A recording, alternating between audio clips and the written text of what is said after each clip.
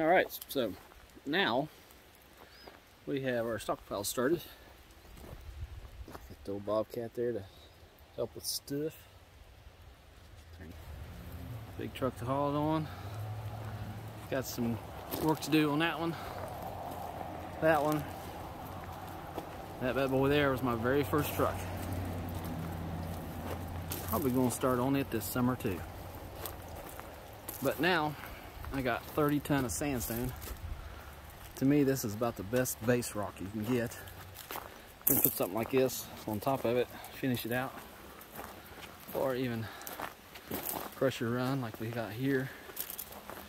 Three quarter there. Yeah. I'm gonna put 57s in this little aisle.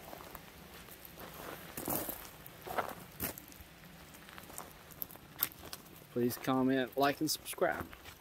Thanks for watching.